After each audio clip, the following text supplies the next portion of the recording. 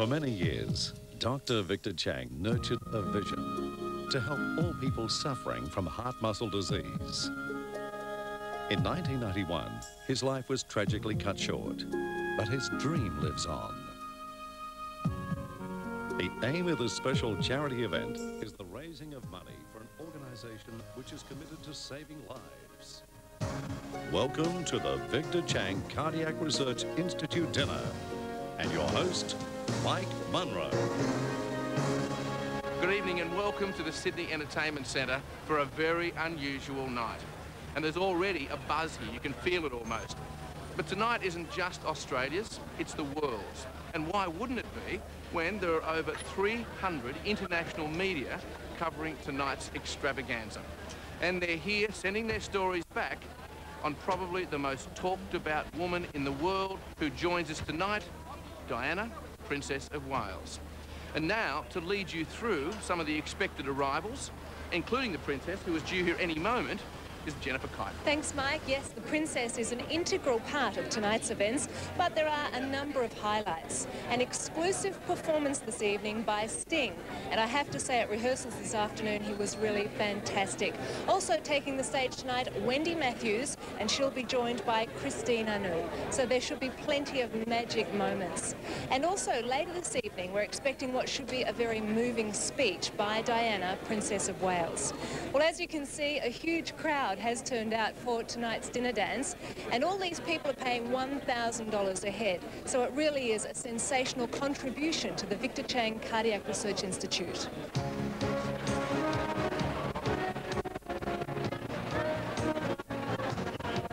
Fiona, can I say welcome this evening? How are you? Jennifer, I'm fine, thank you. What are your thoughts on the uh, Victor Chang Cardiac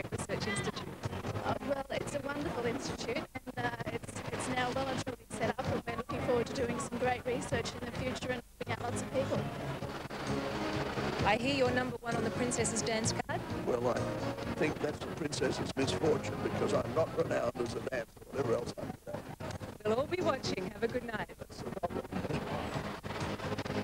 Are you hoping to meet the princess? I would like to meet the princess. It's not very often a queen gets to dine with the princess these days.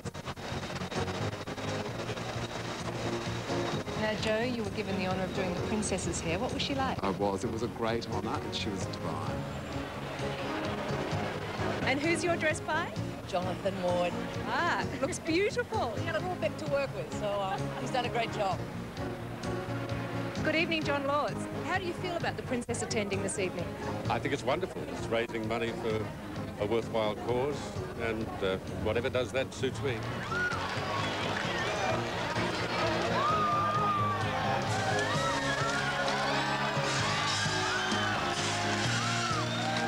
Princess has just arrived at the entertainment centre. She isn't supposed to be here for another 15 minutes, but the paparazzi haven't been caught off guard. There are literally thousands of flashlights going off. It's an amazing sight.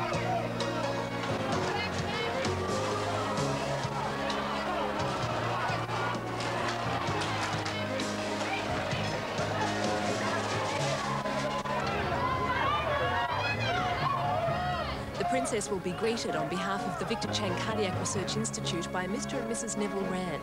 And Professor Robert Graham's daughter Caitlin will be presenting her with a bouquet of flowers before they all head into the main function room. Well, tonight is shaping up to be one of this year's biggest events. And I have to say the interior of the entertainment centre looks absolutely stunning. After this break, Munro will take over for what should be a very exciting night. Special event. A dinner dance in aid of the Victor Chang Cardiac Research Institute. A night which we hope will touch the hearts of all Australians. I'm Mike Munro. I'm privileged enough to be your host here tonight. And uh, we are going to pay tribute to one great Australian, Dr. Victor Chang. He was one of the world's leading heart surgeons, an ambassador for Australia, in fact, a true man of vision. In fact, there are people in this room tonight who owe their very lives to him. Victor Chang tragically died in July 1991. But tonight, five years on, we are still celebrating his life's work. The Institute strives to solve the mysteries of heart muscle disease, pump failure, and also to find technologies to combat those diseases. And what a night it is going to be tonight to have you here. We are privileged to have a very special guest of honour. You may even have read about her. She's flown in from London especially to be with us tonight.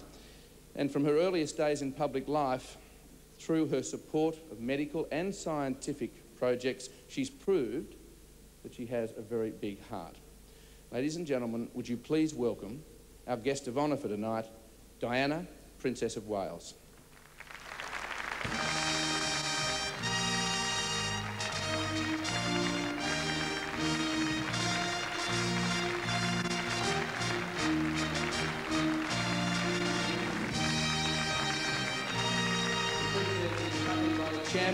The Chang Cardiac Research Institute, the Honourable Neville Wran, and the Chairman of the Organising Committee for this special night, John Landerer, and Dr Chang's three children, Vanessa, Matthew and Marcus.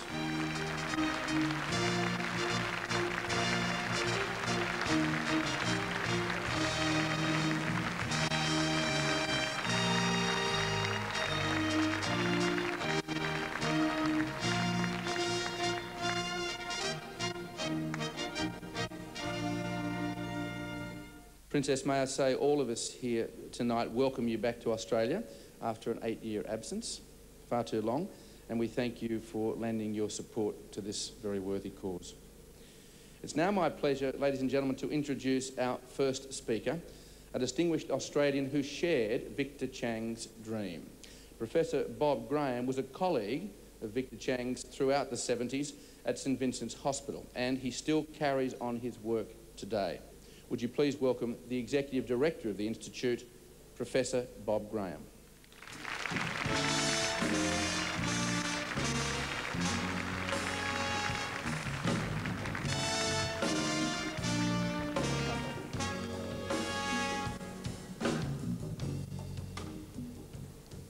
D dare I say it, trick or treat? Diana, Princess of Wales, Viscountess Camden, Mrs. Kerry and Mr. James Packer, distinguished guests, ladies and gentlemen, on behalf of my colleagues at the St. Vincent's Hospital campus and the Sisters of Charity, welcome. And thank you for attending this charity dinner dance on behalf of the Victor Chang Cardiac Research Institute, a function that will benefit us enormously in our efforts to find new treatments, cures and diagnostics for still our number one killer, heart disease. We're extremely privileged and grateful to have as our very special guest tonight, Diana, Princess of Wales. What some of you may not know is that among her many, many charitable activities, the Princess has a very special interest in the care and treatment of patients with heart disease. For example, she regularly gives generously of her time and her love for patients with heart disease at the Brompton Hospital in London. What most of you do know is that another person who cared passionately for patients with heart disease, although in a different capacity, was Victor Chang. To give you but a glimpse of this great man and his pioneering work, let me show you this short video. Victor Chang was a friend of humanity. He cared for the poor and the rich, the powerful and the powerless. He was born in Shanghai, China in 1936 of Australian parents. From the age of 12, he was determined to become a surgeon after the death of his mother. He studied at Sydney University, in the United States and in Great Britain. He returned to Sydney in 1972 to join Dr. Harry Windsor's pioneering cardiac team at St Vincent's Hospital. A loving family man, he valued life and showed a genuine interest not just in his patients, but also their families. But Victor Chang was not only a world-class surgeon, he was an innovator who was never satisfied with present technologies. He spent much of his life looking for a better way to help his patients. When he was killed in 1991, he'd already designed an artificial heart valve and was developing an artificial heart. Victor Chang's dream was to build a world-class heart research facility. The research and development he considered so important is being continued today by the Victor Chang Cardiac Research Institute. Through its work on heart muscle disease and heart pump failure, it's expanding the frontiers of modern medicine. The Institute's vision is to improve life expectancies and the lives of a growing number of Australians affected by heart disease.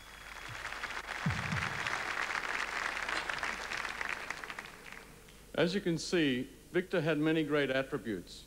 He was an extraordinary humanitarian who cared deeply about each and every one of his patients. He was a pioneering cardiac surgeon who, amongst many achievements, established heart transplantation in Australia and worldwide. And he was a visionary committed to new advances through research. His loss is immeasurable. Fortunately, at St Vincent's Hospital, his legacy in terms of heart surgery and the treatment of heart failure has been very ably continued by Dr. Philip Spratt and his heart-lung transplant team. What I'd like to focus on tonight, however, is the fact that Victor's legacy and vision in terms of research has also been continued with the establishment of the Institute. Let me stress that the Institute is still very much in its embryonic stages, and the funds raised here tonight are vital for us to be able to recruit additional researchers, to buy much needed medical equipment, and to pay for the many running expenses involved in producing life-saving research. I thank you all, therefore, very much for your support, and in particular, I thank the Princess for being our special guest. Finally, let me thank you, thank all the members of our board and our appeals committee, and most importantly, a very special person, the chairman of our board, the Honourable Neville Wran. Please enjoy the evening.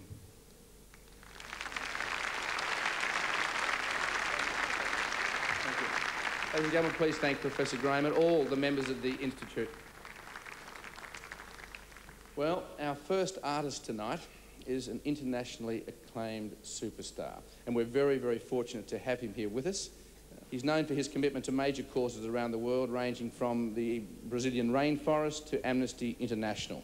And tonight, he's helping out with our cause. Would you please welcome Sting?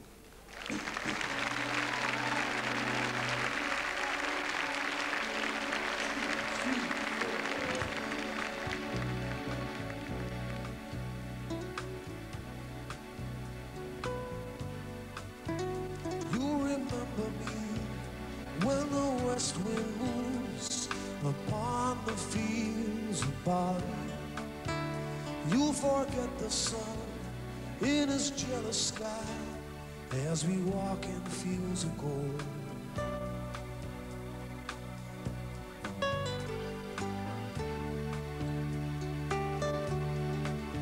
And so she took her love for to gaze a while upon the fields of barley. In his arms she fell as her hair came down among the fields of gold. Will you stay with me? Will you be my love among the fields of barley? You'll forget the sun in its jealous sky as we lie in fields of gold.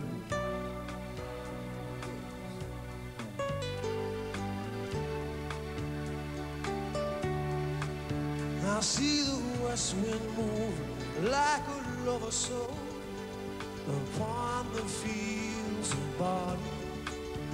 Feel her body rise when you kiss her mouth among the fields of gold. I never made promises, lied